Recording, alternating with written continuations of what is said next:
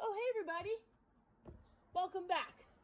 Day three of lemonade training. How's everybody feeling? Hopefully a little bit sore. Um, a little sore from my run yesterday, to be honest with you. Um, so today I thought I'd mix up a little bit, do a bunch of different exercises um, in one big circuit, and do that circuit five times. We're gonna do body weight squats. You're gonna do push-ups, sit-ups. Everything it has 10 reps, by the way.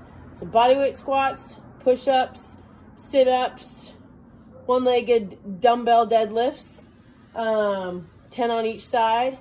And then I've got Big Bertha here from work, from the gym. And I took the Big B, 72 uh, pounds. Gonna do just regular squats with that. So, review real quick, and then I'll let you get to it. Uh, 10 bodyweight squats just to warm everything up. 10 push-ups. We love those push-ups. Flip over, do those regular sit-ups. You guys know the drill. All the way up, touch your ankles. Then, here's this one. If you guys did a nice long run yesterday, you got the dumbbells. These are each 15 pounds. Nice, not too heavy. All the way down, all the way back up. Squeeze the glutes at the top.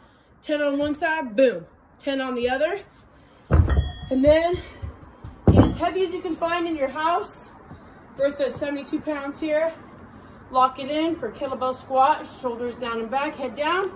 Boom. Squeeze the glutes at the top. All the way back down for 10.